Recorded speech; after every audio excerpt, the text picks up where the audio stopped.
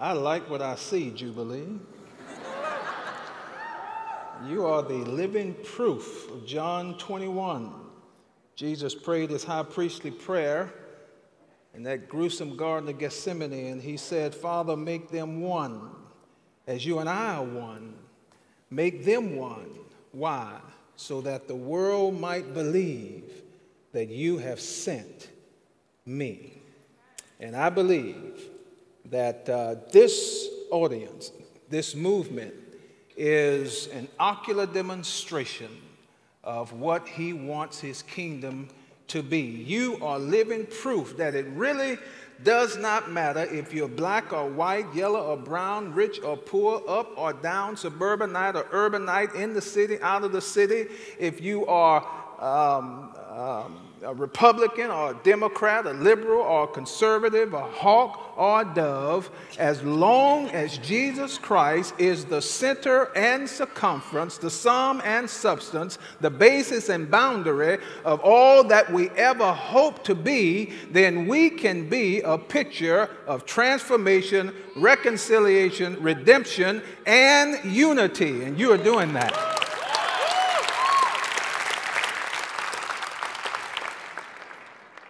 I have to tell you, saying amen to a black preacher is like saying sick him to a dog. And so I have about 20 minutes, I'm told, and if I'm going to finish in 20 minutes, if you hear something that's true every now and then, I'd like to hear you say, or we'll be here all night.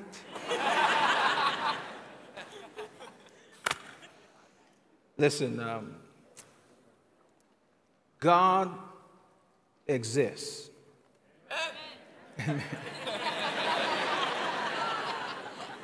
there never was a time that he did not exist. God exists. Amen. In fact, anyone who's been intellectually honest would have to go up and say, if I look beyond the sky, there's something up there. God exists, whether I know it or not, believe it or not, like it or not, or accept it or not, God exists. Two, God has revealed himself. He is not trying to hide. He's revealed himself in creation. He has revealed himself in our consciences. He's revealed himself through Christ Jesus, who came down to show us him. He's revealed himself in the canon of Scripture, which we call the Holy Bible. God exists. God has revealed himself. God has a plan for the universe. We have night, we have day, we have the sun that sets in the east and the sun that uh, rises in the east, it sets in the west. We have all of the seasons of winter, spring, fall, and summer. He has a set plan for the universe. Fourthly, God has a plan for humans. Surely, if He has a plan for the universe, He has a plan for the crowning glory of His creation, the capstone of His genius. So, God exists, God has revealed Himself, God has a plan for the universe, God has a plan for humans. Five, you are human. Wake up the person next to you. You are human. Therefore, God has a plan for you. And since God has a plan for you, then you owe God an honest hearing. You and I owe God an honest hearing. So I want you to hear what he has to say tonight. Because the word of God is alive and powerful. It's sharper than any two edged sword. It pierces asunder between the joints and the marrow, the soul and the spirit. It is a critic of the thoughts and the intent of the heart. All scripture is God breathed, and as such, it is profitable for reproof, rebuke, correction, and instruction in righteousness. The psalmist says, Blessed is the man that walketh not in the counsel of the ungodly, nor stand in the way of sinners, nor sit in the seat of the scornful, but his delight, her delight, his delight is in the law of the Lord. And in that law does he meditate, does she meditate, meditate day and night. And as a result, he or she shall be like a tree that's planted by the rivers of water. Leaves will come in due season, and whatsoever he he or she does shall prosper. I believe, like you do, that the Word of God is untainted and unmixed with error in its original autograph, it's divine in its origin, inspired in its totality, it's regenerative in its power, inexhaustible in its adequacy, but personal in its application. That's a good place to say amen. Amen. amen. I got a problem tonight. I had a fabulous sermon prepared. And God did something I don't like him to do. and I've been here since Friday, um, last night, and today. Um, God began to move me from my sermon. In fact, just two hours ago, I went to the video team and said um, they were going over what I had given. And I said, um, And I don't like it when God does that.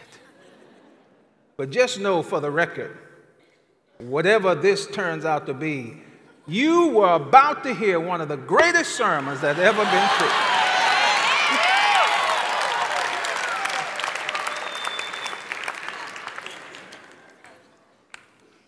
But honestly, whenever God leads in this direction, though I'm uncomfortable with it, he knows more about living than any person who's ever lived. So I'm going to follow, even though it doesn't make sense to me, what he would have me to say. So there is a passage in Matthew chapter 5, verse 5. Whatever else redemption is, Jesus came to radically redeem our attitude that's why he spent so much time in the embryonic stages of his ministry and what we call the Sermon on the Mount. But he over and over taught his disciples about attitude. And when he redeems us, he radically redeems our attitude. And so he gives us this passage, Matthew 5 5. I want you to repeat it after me with vim, vigor, and vitality. Would you? Blessed, Blessed are the meek, the meek for, they for they shall inherit the earth. This word meek, pros in the Greek, is perhaps one of the most misunderstood words in the Bible, in our English language. It does not mean weak. So when Jesus gave these Beatitudes, he said, Blessed are those who are poor in spirit, for theirs is the kingdom of God. That's the beatitude of salvation. When I come and I'm spiritually bankrupt before God, then He opens a whole new world up for me. But I have to admit that I'm spiritually bankrupt, and in and of myself, I cannot save myself. My salvation is through Christ alone, through grace alone, through faith alone. It is not true that God helps those who help themselves. God helps those who let Him help them. So that's the beatitude of salvation. Then he says, Blessed are those who mourn, for they shall be comforted. That's the beatitude of suffering. See, this is a radical, redemptive attitude change. And then he says, Blessed are the meek, for they shall inherit the earth. This is the beatitude of submission, a nasty word in our English language. Submission. Blessed or the meek. Now you know meek is not weak because Jesus himself said in John, I mean Matthew 11, that I am lowly and I am meek, so learn this from me. In fact, we have Moses in the Old Testament. There was nothing weak about him either, but in his day, the Bible says he was the meekest man on earth in his day. So, what does God want us to learn about redemption with this idea of meekness? So I want to share a few definitions and a couple of stories, and then I will take my seat. Whatever else meekness is, blessed are the meek. This word blessed means inner happiness, by the way. It's, it's, it's uh, lasting satisfaction. It's not based on external circumstances. So Jesus, speaking even to his population who were poor, who were enslaved, said that your circumstances do not determine your inner happiness or your lasting satisfaction. But here's the condition Blessed are the meek for they shall inherit the earth. Meaning that God will give you and I by inheritance what we need, a lot of what we want, without undue strain, stress, or struggle. It will be an inheritance, but I have to have this particular attitude. What is meekness? Meekness means an attitude of acceptance of what the Almighty is doing to me and through me without fighting. That's meekness. It's an attitude of acceptance of what the Almighty is doing to me and through me, clue, without fighting. Some of us, even in our redemptive state, are fighting with God. I know I do.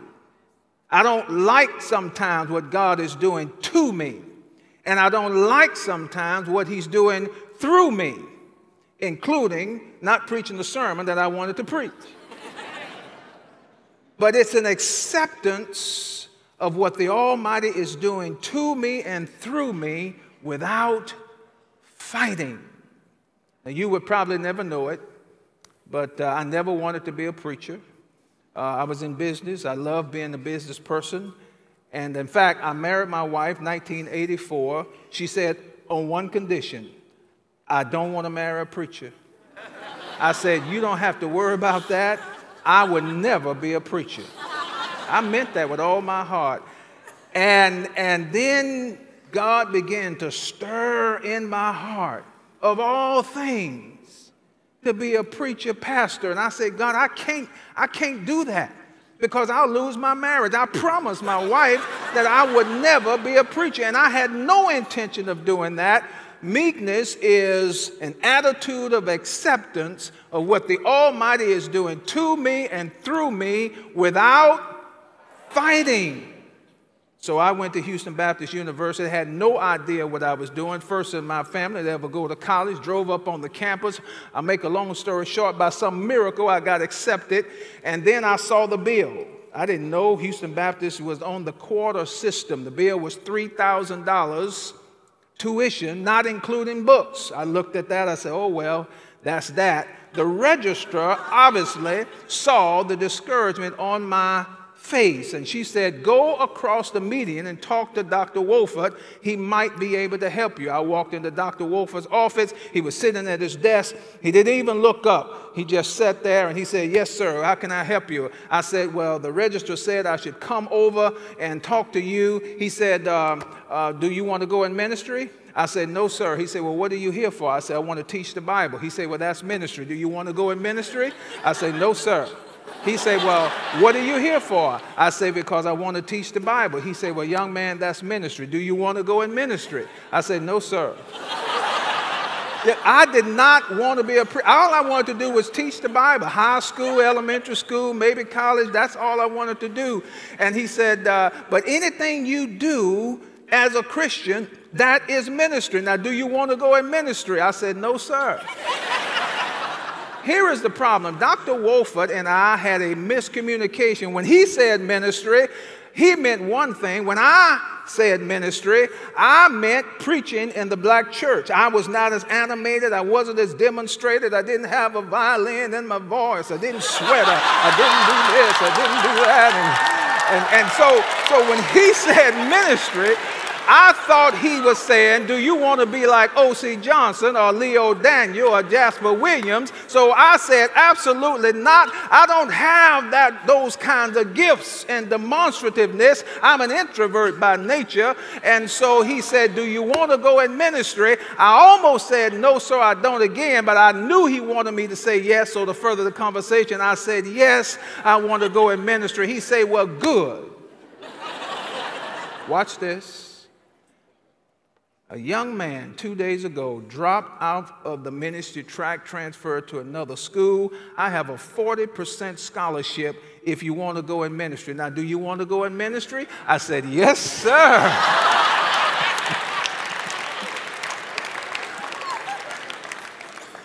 Blessed are the meek, those who have an attitude of acceptance with what the Almighty is doing to them and through them without whatever else meekness is. Meekness is strength under control.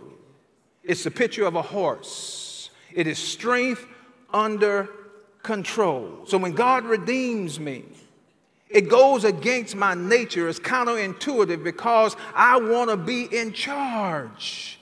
But it is strength under control. Jesus said, Blessedness, inner happiness belongs to those who have strength under control.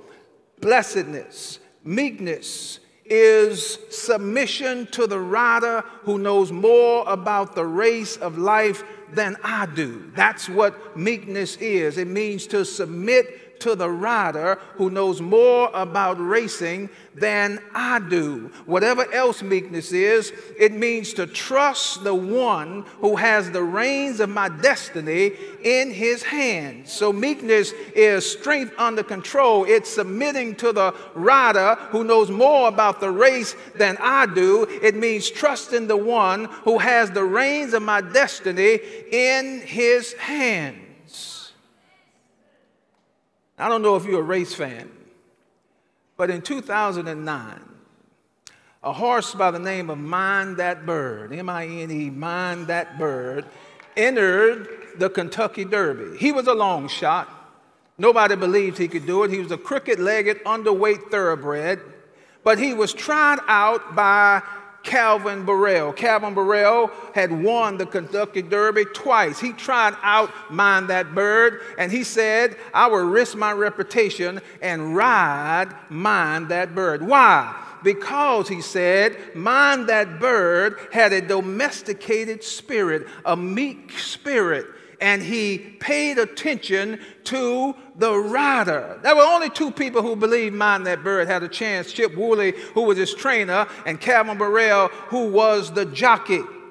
Now, Mine That Bird was bigger than Calvin Borel, faster than Calvin Borel. He had a mind of its own. But what Mine That Bird did that day made Kentucky Derby history because he came from 50 to 1 odds to win the Kentucky Derby. Why? He submitted himself to the rider who knew more about the race than he did, and he trusted the one who had the reins of his destiny in his hand. I almost feel like preaching. So, whatever else meekness is, it is submitting to the rider who knows more about the race of life than I do. That's part of what God is redeeming my attitude. He's radically redeeming that. It means trusting the reins of my destiny to the one who knows more about living than any man that has ever lived. Meekness means to be strong enough, to be weak enough to let God handle it. Meekness is to be strong enough, to be weak enough to let God handle it. We all have our own strength, our own will, our own independence where we want to do things our way, but meekness means being strong enough to be weak enough to let God handle it. Lastly, meekness is the middle part of anger. It's not pacifist, which means you never get upset at anything. It is not an activist, which means you get angry about everything. Aristotle says meekness is the middle part of anger. It's a balance. And so, whatever else meekness is, it means to have strength under control. It's not being a pacifist, never being upset about anything, or an activist protesting and getting angry about everything. It's the middle part of anger. So when Jesus says to me, You, I am lowly and I am meek, so learn that from me. I'll close with this Moses, Numbers chapter 12. And you know, Moses had a temper, don't you? He murdered a man with his bare hand because he offended his brother. But over time, his attitude was radically redeemed.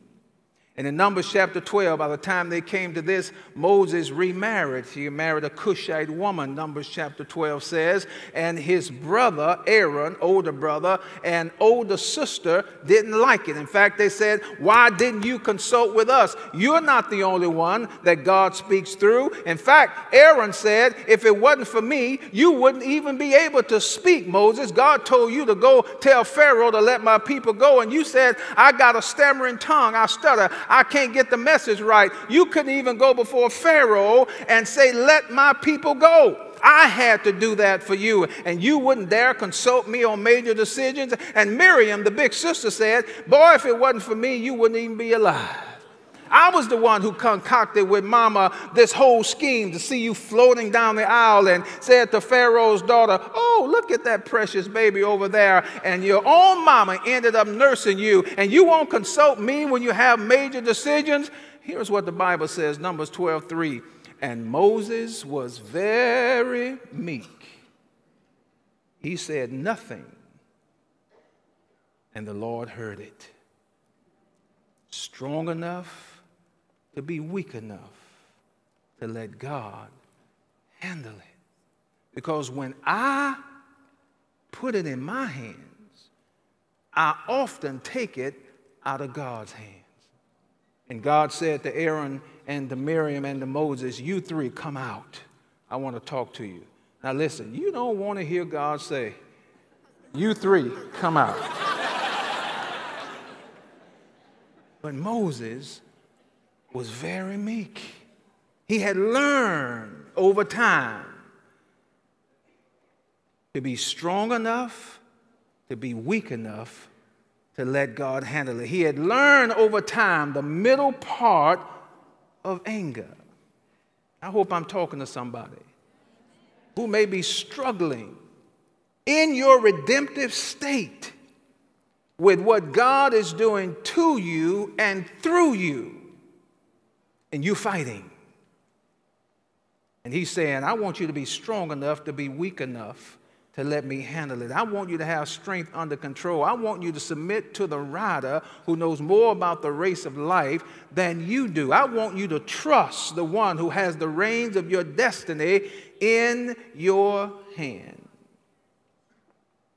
I close with this Jesus, who said he was lowly and who said he was meek taught us this it's not easy when I have the choice or don't have the choice. God puts me in a box, put me in a situation, back is up against the wall. I have nobody to call on but God. Then I am often meek. It's not easy, but I'm more likely to be meek, to have strength under control. But here's my test for you Real meekness is tested when I can do something about a situation, but I choose not to. Because if I choose to do it, it would take the matters out of God's hand. And I may be talking to somebody who may be in both of those situations. My back is up against the wall, and yes, I am submitting to the rider who knows more about the race of life than I do. I don't know what to do, and so I am in submission to him. But I'm also talking to somebody who's been maligned, who's been mistreated, uh, and who has been vilified, and you can do something about it. Here is the challenge for you in your redemptive state, and it is this Are you strong enough to be weak enough to let God handle it? So Jesus redeemed us. He said, I am lowly and I am meek. And the one who is meek can show us how to be meek. You do know that he had a chance to fight against God. In that gruesome Garden of Gethsemane, when he cried out to the Father, If there be any other plan, let this cup pass from me. Nevertheless, not my will, but thy will be done. That's what he was doing. He had an attitude of acceptance with what God was doing to him and through him without fighting God. He showed us the way on how to have strength under control. And that same meek one can also show us how to be meek in our radically redemptive state. And that's what he wants to do for you and for me. Jesus, the one who was conceived in virginity, he was born in humility, he was wrapped in humanity, he lived 30 years in obscurity, he healed indiscriminately, served selflessly, preached poignantly, taught tirelessly, prayed fervently, suffered silently, died vicariously, rose victoriously, he returned very gloriously.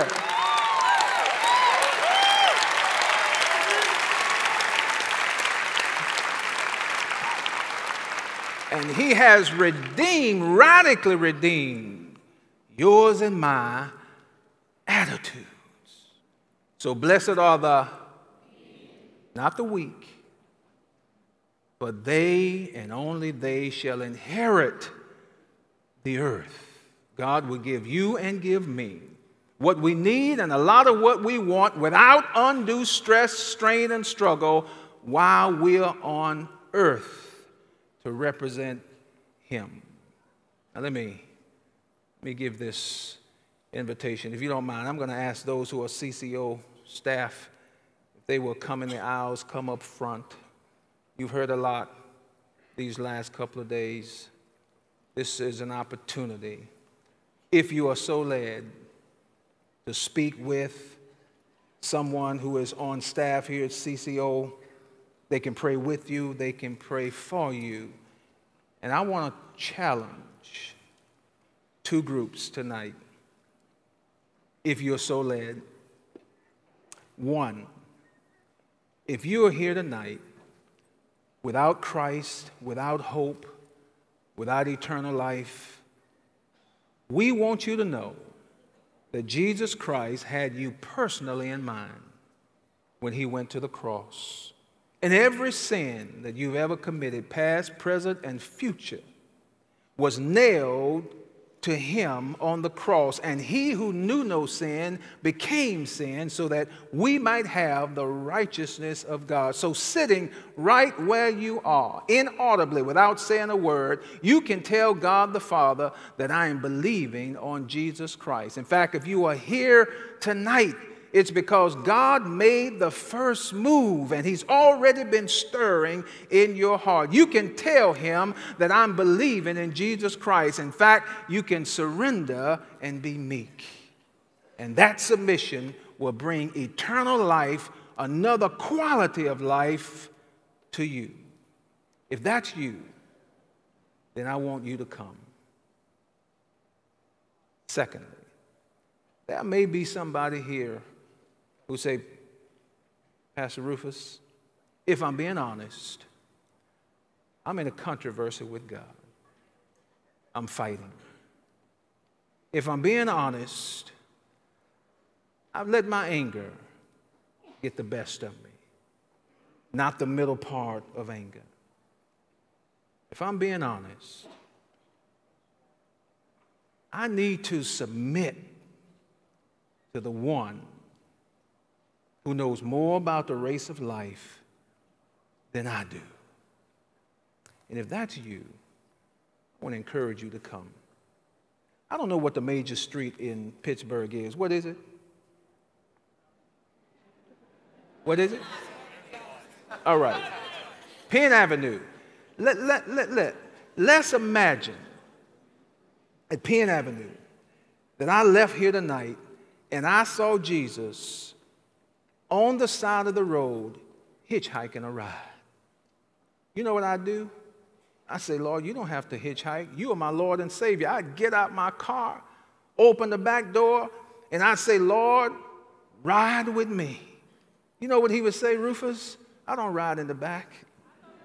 I would say, Lord, wait a minute. Great people ride in the back. Kings and potentates, presidents, they ride in the back. You are much greater than they. Ride with me. He'd say, but I don't ride in the back.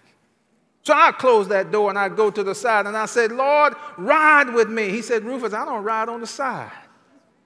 I said, wait a minute, Lord. The people I love ride on the side. My children, my wife rides on the side. My friends, and you are greater than any of them, ride on the side. He said, No, I don't ride on the side.